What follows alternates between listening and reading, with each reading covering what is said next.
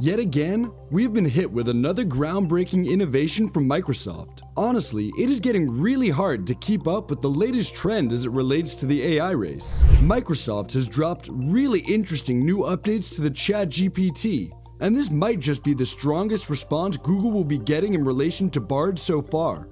Recently, with the internet feature that is incorporated into Bard, we've been seeing some really positive responses to the application. This, of course, the competition will always see as a threat.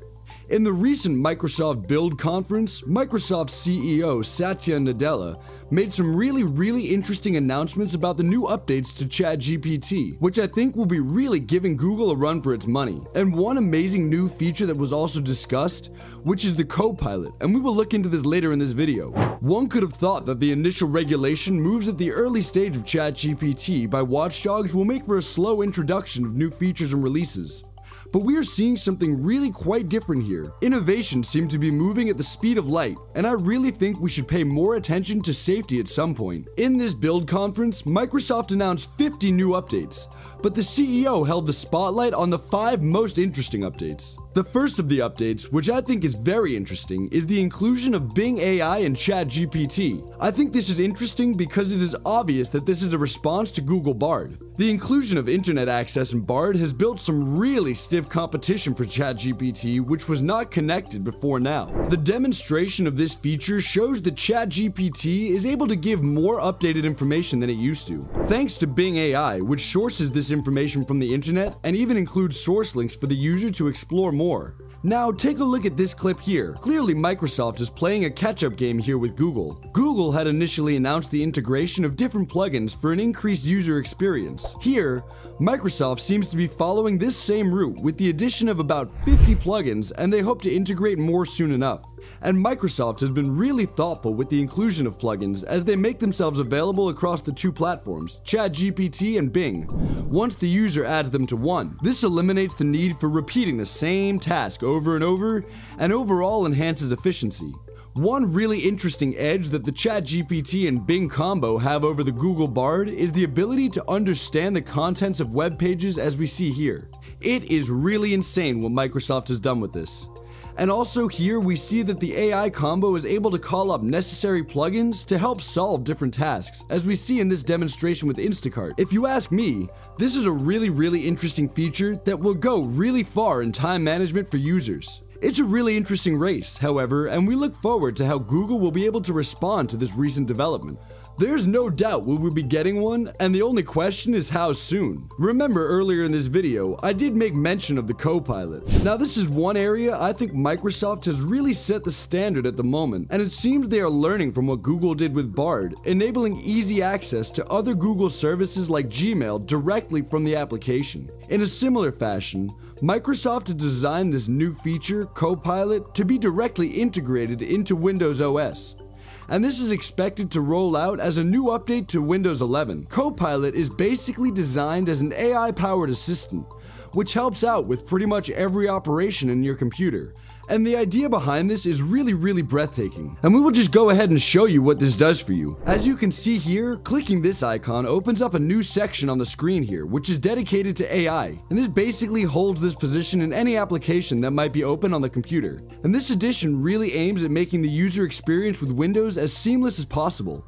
In the demonstration at the build, we see that this edition basically has access to all the features in the computer and can easily access them to help you make your experience awesome all by the click of a button. Now it seems Microsoft is making one bold step into improving its systems and also making them wildly integrated into many other AI programs. Just listen to this clip as the CEO introduces the Azure Studio. We see here that Microsoft has successfully created an ecosystem where different enthusiasts can leverage the vast advancement of the ChatGPT to create their own AI program. The platform aids with the creation, testing, and rollout of these programs. And it is really comforting to know that Microsoft has paid some attention to safety here, although no one knows how strong that feature is for now. Anyways, we hope the measures are enough to check activities and prevent the creation of dangerous programs. With this competition that is moving at the speed of light in the AI race, we are faced with some other pressing aspects that borders on safety. I mean, we have heard the Microsoft CEO make reference to safety at different points in his presentation, but the speed at which they roll out new features might leave room for mistakes. This seems to be a growing concern, and we see here that Eric Schmidt, a former CEO at Google, has expressed some fear to this effect. Eric Schmidt's fears are channeled towards the unidentified vulnerabilities by cybersecurity, which might likely result in a zero day exploit. And the zero day exploit basically points to a cyber attack on vulnerabilities that are yet to be patched up. He exercises fear that this might form an existential threat if the unchecked advancement is allowed to continue. And for the fact that someone who is an insider like Schmidt is this concerned about this, we should all be terrified. But one really confusing thing is, some of those who called for a check on the rate of advancement in AI initially, like Elon Musk, seem to be joining the race. And speaking of Elon Musk, there's really interesting news coming out from Neuralink, a company owned by Elon. They're really taking a different route that is just amazing. Neuralink has been in some legal battles with regulatory agencies with regard to operations and has recently been reported to have secured approval from the FDA for a human trial for their product.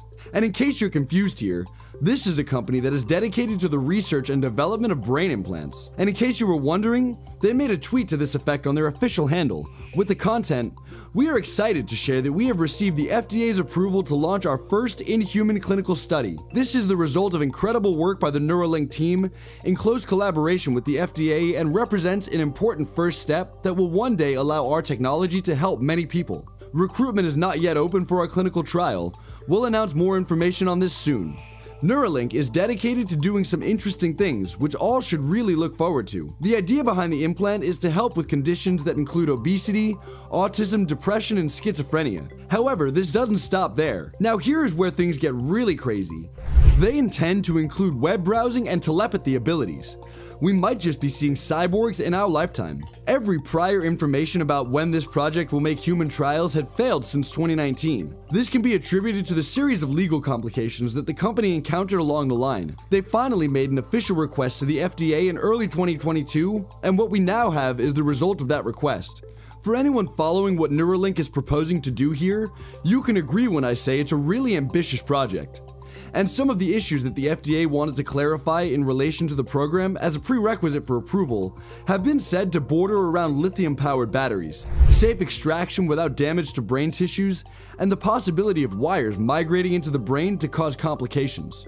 The project has attracted a lot of attention that revolves around making sure the company operates by the laws of ethics. There have been inquiries by lawmakers on the method that has been adopted in the testing of this technology in animals. The US Department of Agriculture is said to be really interested in this aspect as animal welfare is included. One interesting case that the company has rests with the Department of Transportation. They're looking into allegations that Neuralink might have transported hazardous pathogens on chips removed from monkey brains without appropriate containment measures. The results from these investigations are likely likely to alter the flow of this project.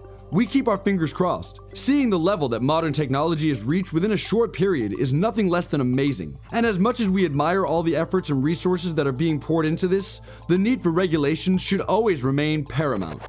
In this recent race for the development of AI programs and other insane inventions, I think we are to brace up and look out for results beyond what we might have expected. Most tech companies with the resources will like to remain relevant, and this is the spice needed for more insane outputs. It seems Microsoft and Google are in the middle of a tug of war recently, and we look forward to seeing who comes out on top, or even new companies that will rival both. What are your thoughts about regulation in the AI race?